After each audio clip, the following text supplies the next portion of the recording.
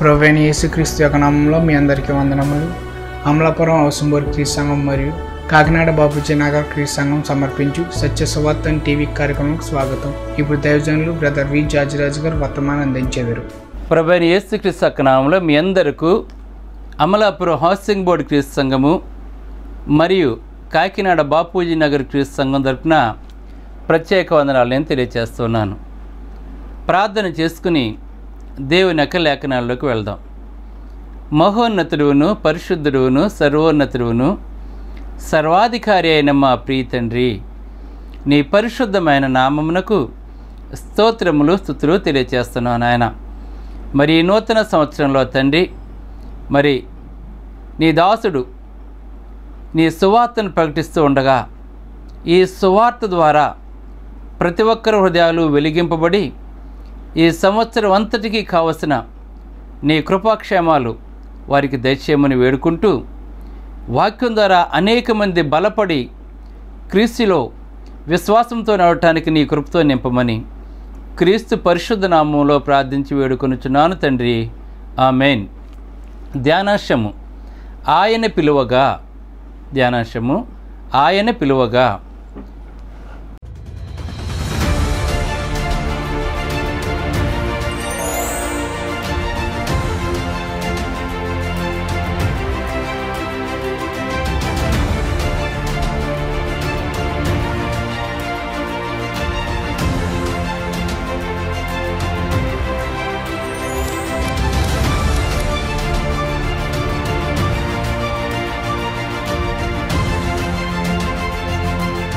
ప్రొవైన యేసుక్రీస్తు యొక్క నామంలో మీ అందరికీ వందనములు. అమలాపురం అవసంబోర్ క్రీస్ సంఘం మరియు కాకినాడ బాబుజీ నగర్ క్రీస్ సంఘం సమర్పించు సత్య సువార్తన్ టీవీ కార్యక్రమంకు స్వాగతం. ఇప్పుడు దైవజనులు బ్రదర్ వి జాజిరాజు గారు వర్తమానం అందించేవారు.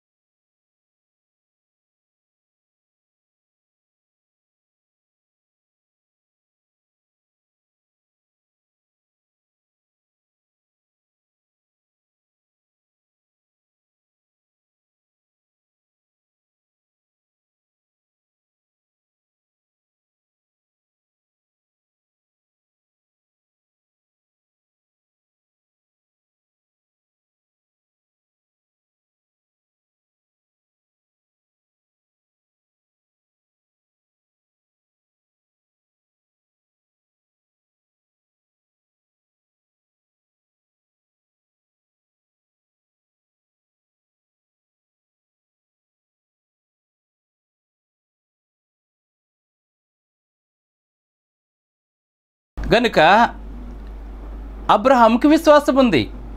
కనుక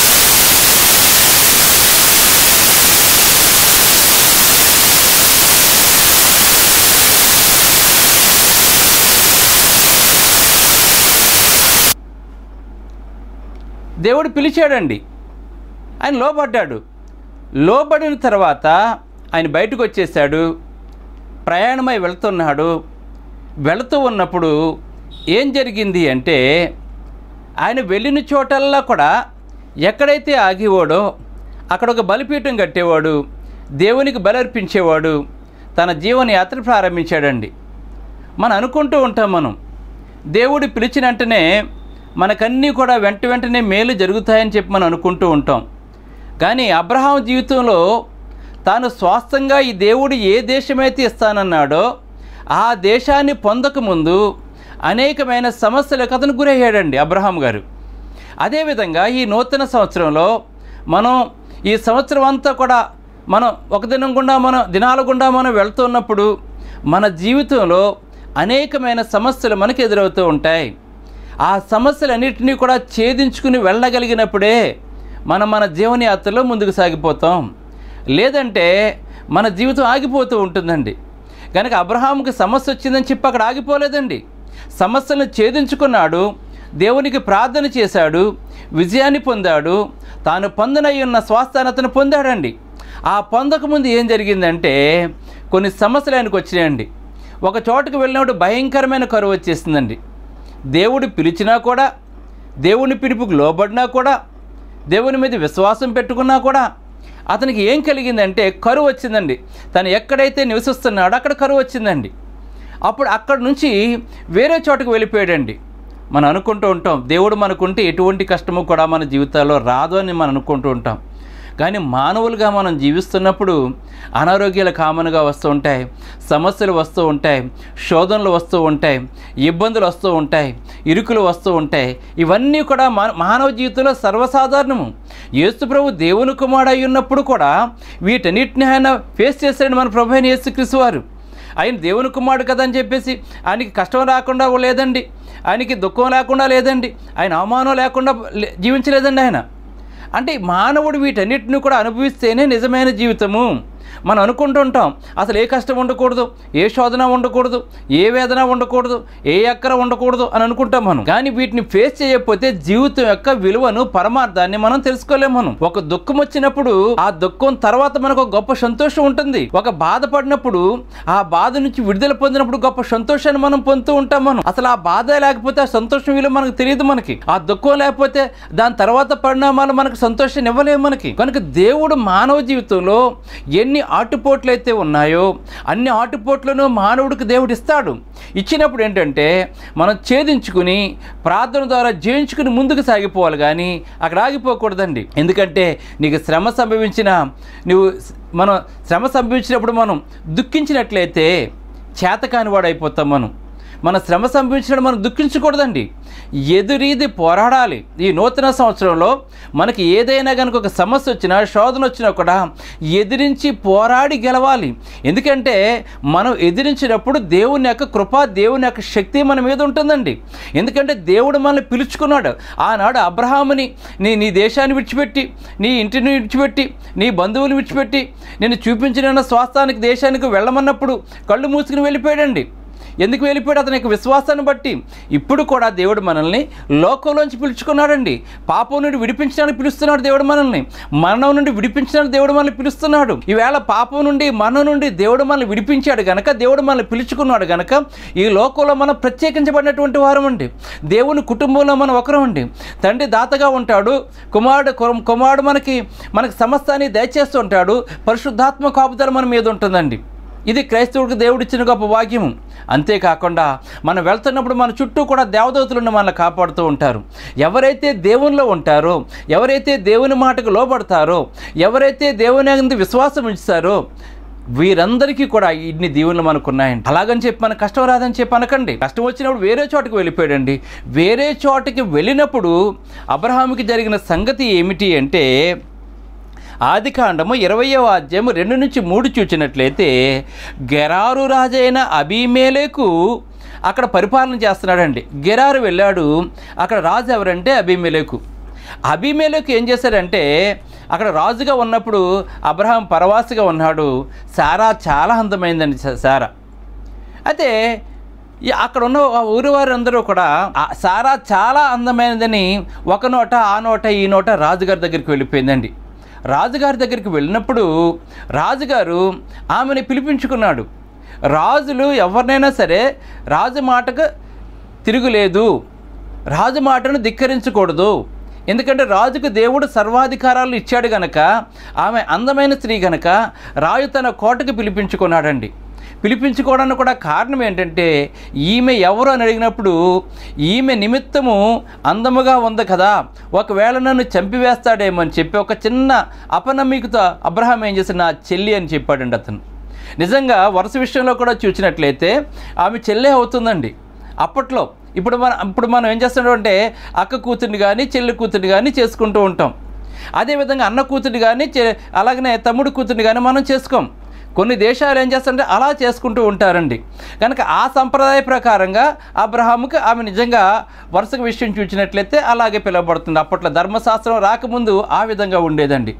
కనుక నా చెల్లి అని చెప్పి నీ చెల్లే కదని చెప్పేసి నేను రాజుల కోటలోకి తీసుకెళ్ళిపోయాడు నా భార్య అని చెప్పలేదండి అతను. అయితే మనం గమనించండి ఇక్కడ.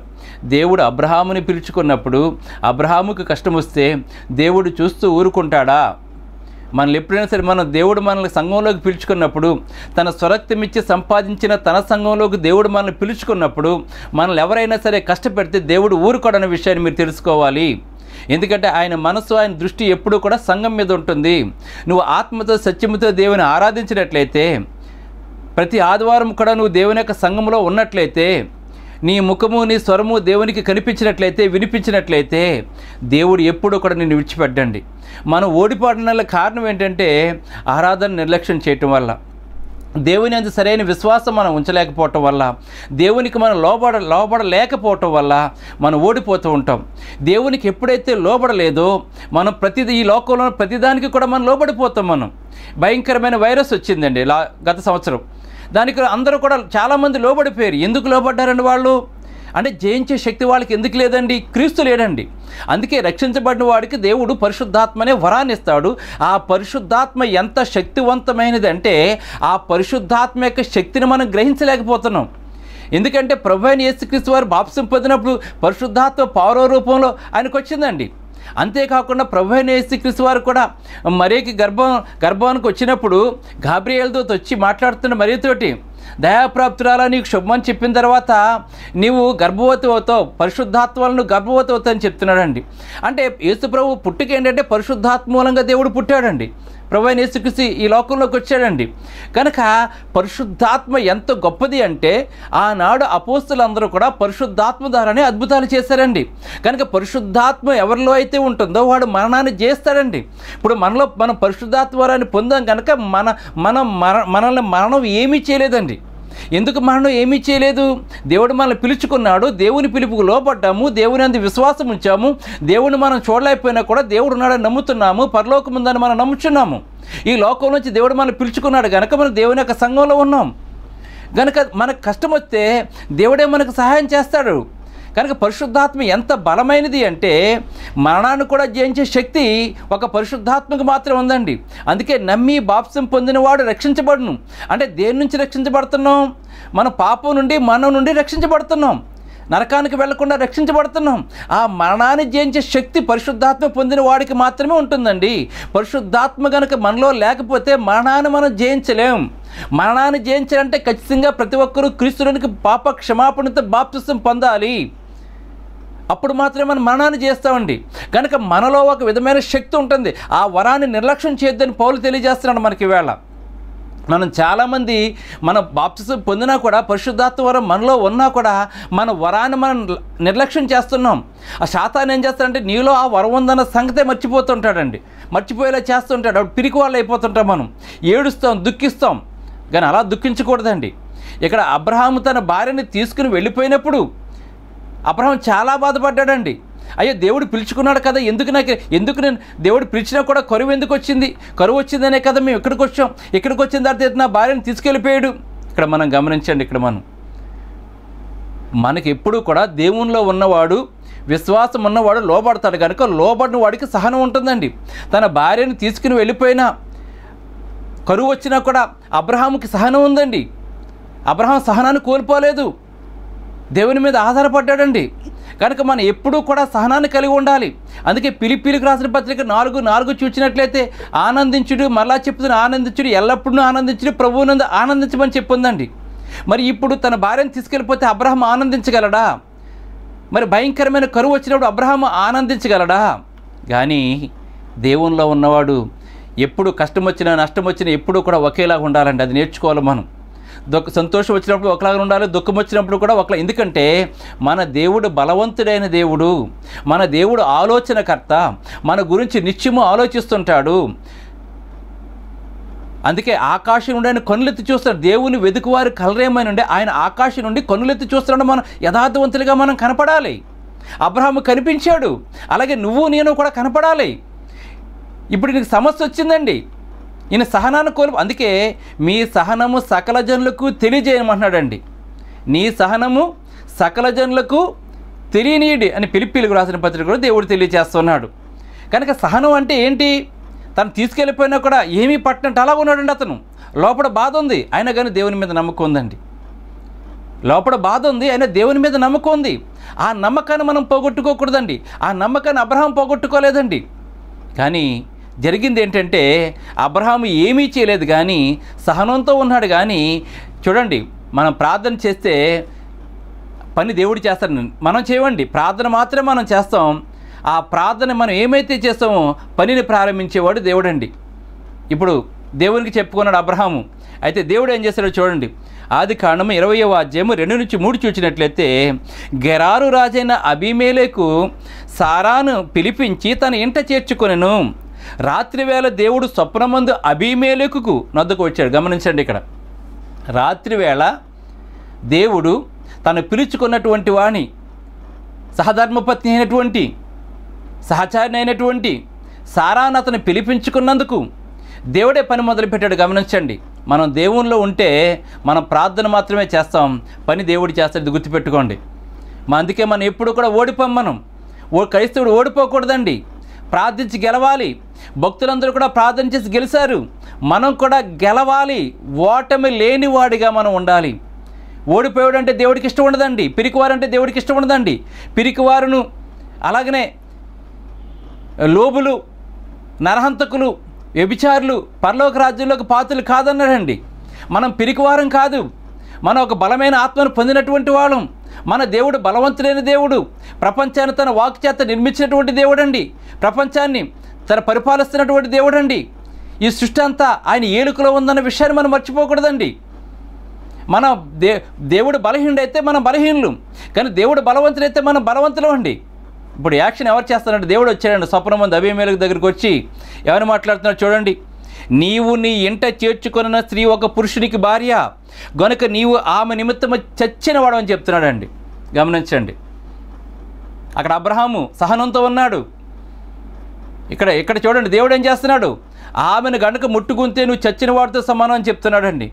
మన జోలికి ఎవరన్నా వస్తే దేవుడు ఊరుకోడండి. ఎందుకంటే పగ తీర్చుకోవడం నా పని అని చెప్పాడు దేవుడండి. మీకు శ్రమ సంభవించినా ప్రార్థన చేయి. మనం చేయవలసింది ప్రార్థన ఒకటే. ఈ సంవత్సరంలో నీకు ఏదైనా సమస్య వస్తే ప్రార్థన చేయి. ప్రార్థన ద్వారా సాధ్యము కానిదంటూ ఏది కూడా లేదండి. ఇక్కడ అబ్రహాంకి సమస్య వచ్చింది. దేవునితో చెప్పుకున్నాడు.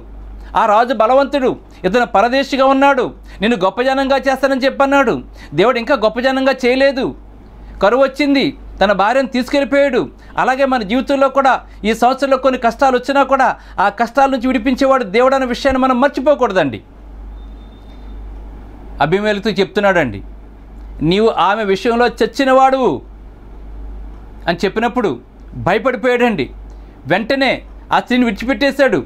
అబ్రహాం దగ్గరికి వచ్చి అబ్రహామ ఏంటి? నువ్వు చేసిన పనేంటి? అసలు నువ్వు నన్ను చంపేయాలని చెప్పి అనుకున్నావా? ఆమె నీ భార్య నాకు ఎందుకు చెప్పలేదు? అని అడుగుతున్నాడండి. ఒకవేళ అలా కనుక చెప్తే ఆమె నిమిత్తం నన్ను చంపివేస్తారేమో అని చెప్పలేదని చెప్పి అన్నప్పుడు ఇప్పుడు కరువు ఉంది.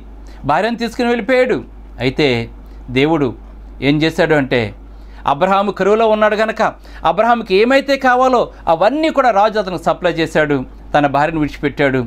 దేవునికి లోబడినట్లయితే దేవుని అందు విశ్వాసం ఉంచినట్లయితే మనకు కష్టాలు వస్తాయి. ఆ కష్టాలను అధిగమింపజేసే దేవుడు కూడా మన కష్టాలని పూర్తిగా తీసివేసి మన మన హృదయానికి సంతోషం కలగజేసేవాడు కూడా మన దేవుడు. అంత గొప్ప దేవుడు నీడలో మనం ఉన్నామన్న సంగతిని మీరు మర్చిపోకూడదని మీకు తెలియజేస్తున్నాను. అందుకే ఆయన పిలిచినప్పుడు ఆ పిలుపుకి మనం లోబడాలి. మారుమాట మాట్లాడకూడదండి. అబ్రహాం మారుమాట మాట్లాడలేదండి. తర్వాత దేవుడు అతను గొప్పగా దీవించాడండి. తర్వాత అతను కుమారుని కూడా ఇచ్చాడు దేవుడు. కుమారుని ఇవ్వటానికి ఇరవై నాలుగు సంవత్సరాలు పట్టిందండి. ఈ ఇరవై నాలుగు సంవత్సరాలు కూడా అబ్రహాం సహనంతో ఉన్నాడు. అలా అదేవిధంగా మనం ఏదైనా దేవుణ్ణి అడిగినప్పుడు అది పొందే వరకు మనం ఎలా ఉండాలంటే సహనంతో జీవించాలి మనం. అందుకే మీ సహనము సకల జనులకు తెలియజేయనిమని చెప్పాడు దేవుడు. మనం ఓడిపోకూడదండి. క్రైస్తవుడికి ఓటమి లేదు. మనం ఓడిపోతే దేవుడు ఓడిపోయినట్టే. దేవుడు ఓడిపోవడు దేవుడు మనల్ని ఓడిపోనివ్వడండి. అందుకే విశ్వాసమున కర్తయు దాన్ని కొనసాగించేవాడైన యేసు వైపే మనం చూడాలి కానీ ఈ లోక వైపు మనం చూడకూడదండి. ఈ లోకంలోదంతా శరీరాశ నేత్రాస జీవపడము మనల్ని పాపంలోకి నెట్టివేస్తుంటాయండి. గనక దేవుని పిలుపుకి లోబడ్డాడు తర్వాత కుమారుడు పుట్టాడు. కుమారుడితో సంతోషంగా ఉన్నాడు. మరొక రోజున దేవుడు ప్రత్యక్షమే అబ్రహామ అన్నాడు చిత్తం ప్రభు అన్నాడు నీ కుమారుడు బలిచ్చేయమన్నాడండి. మళ్ళీ మారు మాట్లాడలేదండి. అదేంటి ప్రభు ఒక్కగానొక కొడుకు కదా? ఏంటి ఇలాగంటున్నామని అడగలేదండి. చిత్తం ప్రభు అన్నాడు తన భార్యతో కూడా చెప్పలేదండి. ఏ పర్వతం మీదైతే బలి ఇమ్మన్నాడో అదే పర్వతం దగ్గరికండి. కొడుకుని తీసుకున్నాడు పనివాళ్ళని తీసుకువెళ్ళాడు నిప్పు చేత పట్టుకున్నాడు కట్టెలు తీసుకున్నాడు వెళ్ళిపోయాడండి. ఏ పర్వతం మీద అయితే బలిమ్మన్నాడో ఆ పర్వ పర్వతం కిందకి వచ్చాడండి. పనివారులందరితో చెప్పాడు మీరు ఇక్కడ ఆగిపోమని చెప్పాడు. కుమారుడికి పొలాల కట్ట నెత్తి మీద పెట్టాడు. నిప్పు అబ్రహాం పట్టుకున్నాడు. కత్తి అబ్రహాం చేతిలో ఉంది. కొండ మీదకి వెళ్తున్నారు. ఆ వెళ్ళి ముందు ఒక మాట చెప్పాడండి. అబ్రహాం తన పనివారికి మీరెవరూ కూడా పైకి రావద్దు. మీరు ఇక్కడే ఉండండి. నేను నా కుమారుడు దేవునికి బలి అర్పించి మళ్ళా తిరిగి వస్తామని చెప్పాడండి. అబ్రహాంకి ఎంత విశ్వాసం ఉందంటే గమనించండి. కొడుకుని బలివటానికి వెళ్తున్నాడండి. కొడుకుని బలివటానికి వెళ్ళి మరలా ఇద్దరు ఎలా తిరిగి వస్తారు? తను ఒక్కడే వస్తాడు. కానీ అతను ఏమన్నాడంటే నేను నా కుమారుడును దేవునికి బలి అర్పించి మళ్ళా తిరిగి వస్తా ఉన్నాడంటే అతనికి ఎంత బలిచ్చినా కూడా దేవుడు మరలా తన కుమారుని బ్రతికిస్తానని ఒక బలమైన విశ్వాసం అబ్రహాముకు ఉందండి. ఈ సంవత్సరం నీకు అటువంటి విశ్వాసం మనకు ఉండాలండి. దేవుడు మనం ఏది అడిగినా సరే కాదనుకుంటే ఇవ్వగలిగే వారికి ఉండాలండి. మనం ఈవేళ దేవునికి ఇవ్వడానికి బాధపడుతూ ఉంటాం మనం. దేవునికి ఇవ్వడానికి లెక్కలేసుకుంటూ ఉంటాం మనం. మన ప్రాణాన్ని ఇచ్చాడు మన బ్రతికిస్తున్నాడు మనకి బిడ్డల్ని ఇచ్చాడు వాళ్ళని కాపాడుతున్నాడు మన ప్రతి అక్కడ దేవుడు తీర్చుతున్నాడు మన సంకటాలు కుదుర్చుతున్నాడు పక్షిరాజు వంటి యవనాన్ని మనకిస్తున్నాడు మేలుతో మన హృదయాన్ని తృప్తిపరుస్తున్నాడు. ఇన్ని చేసినా కూడా దేవుడికి మనం ఇవ్వటానికి మనం వెనకాడుతూ ఉంటాం మనం. ఇది చాలా చాలా చాలా తప్పండి. ఈ లోకమంతా సంపాదించుకుని మన ప్రాణం పోగొట్టుకుంటే ఏంటి ప్రయోజనం? దేవుడు తన ఏకైక కుమారుని కూడా ఇవ్వటానికి వెనకాడలేదండి వెళ్ళిపోయాడు నడుస్తున్నాడు తన కుమారుడు అడుగుతున్నాడు నాయనా కట్టెలున్నాయి నిప్పుంది మరి గొర్రెపిల్ల ఏదని అడుగుతున్నాడండి. తనన్న విషయం తనకు తెలియదండి. అప్పుడు దేవుడే చూచుకుంటాడని చెప్పాడండి ఆయన. వెళ్ళాడు పేర్చాడు కట్టెలు పేర్చాడు తన కుమారుడికి కాళ్ళు చేతులు కట్టివేశాడు. అప్పుడు అర్థమైంది బలి నేనే నేనే అని చెప్పి ఇసాక్కి అప్పుడు కత్తి పైకి వెత్తేసాడండి అప్పుడు దేవుడు మాట్లాడుతూ ఉన్నాడు అబ్రహామా ఆ చిన్నవాని మీద చెయ్యి వేయకమని చెప్పాడండి. ఎందుకంటే తన మనసులోనే ఆల్రెడీ బలి ఇచ్చేసాడండి కొడుకుని. కొడుకుని ఇవ్వడానికి వెనకాడలేదండి. దేవుడు చెప్పినప్పుడు ఆ ప్రకారంగా చేయటానికి ఇష్టపడ్డాడండి అతను. అతను మాట తప్పలేదు.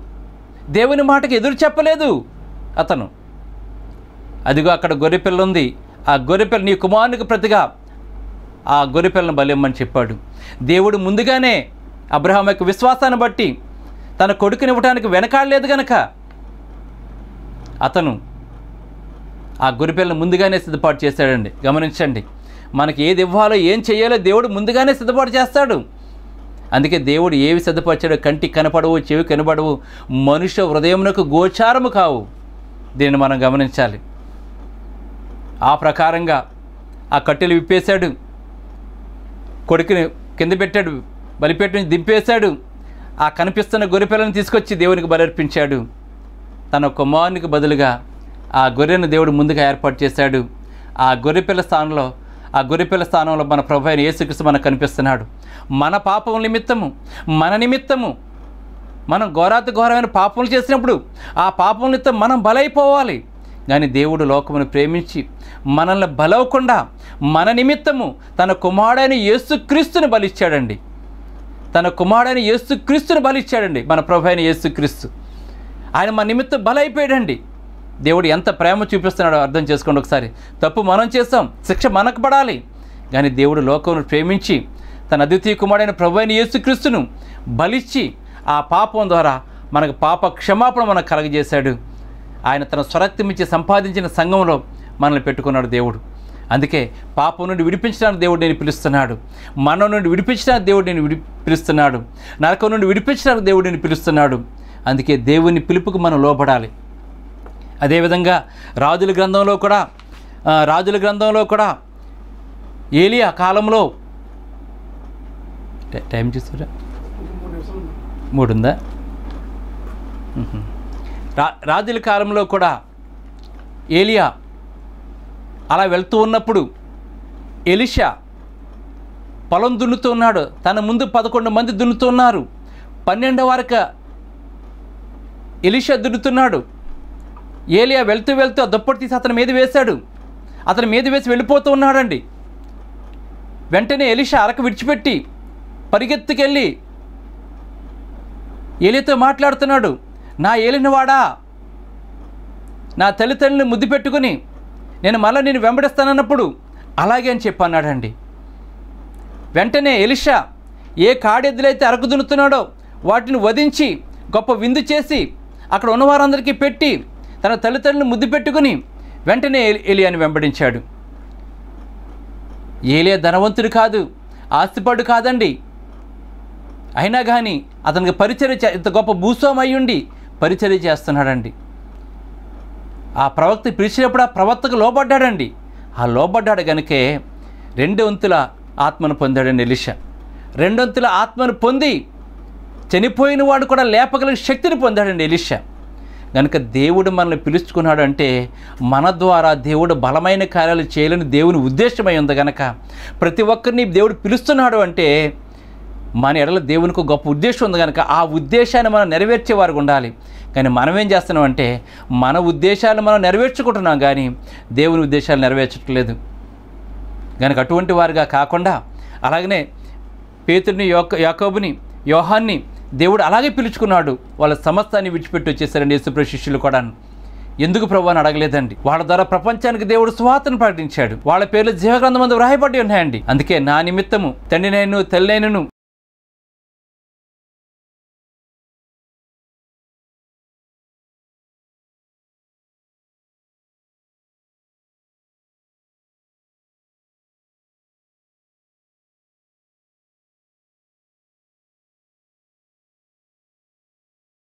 మహోన్నతుడైన తండ్రి సర్వోన్నతుడైన దేవ సర్వాధికారి నీ పరిశుద్ధమైన నామమునకు స్థుతులు తెలియజేస్తూ ఈవేళ చెప్పబడిన ఈ సంవత్సరంలో చెప్పబడిన మొదటి ప్రసంగం తండ్రి. మరి ఈ ప్రసంగం ద్వారా తండ్రి అందరూ బలాన్ని పొందాలని దేవుని పిలుపుకు లోపడాలని విశ్వాసం కలిగిన వారిగా ఉండాలని విశ్వాసం ఉంటే సహనాన్ని కలిగి ఉంటారని సహనం కలిగి ఉన్నవాడు దేవుని ఎదురు నుంచి గొప్ప మేలు పొందుతాడని ఇవాళ మేము తెలుసుకున్నాం కనుక నాయన. మరి ముఖ్యంగా ఈ సంవత్సరంలో ప్రతి ఒక్కరి జీవితాలు కూడా సంతోషంగా ఉండటానికి నీ కృపతో నింపండి నాయన. ఏదైనా శోధన వచ్చిన వేదన వస్తే జయించే శక్తిని అనుగ్రహించమని వేడుకుంటూ ఈ నూతన సంవత్సరంలో తండ్రి మరి సంవత్సరం అంతా నీ కృపా కాదని ఎల్లప్పుడూ ప్రతి ఒక్కరి మీద ఉంచమని. అలాగే నీ దాసుడు చేస్తున్న సేవను దీవించి నీ దాసుడు చేస్తున్న సేవకు సహకరిస్తున్న సహోదరి సోదరులందరినీ బాగా బలపరిచి ఈ సంవత్సరం అంతా నీ కృప మాపై ఉంచమని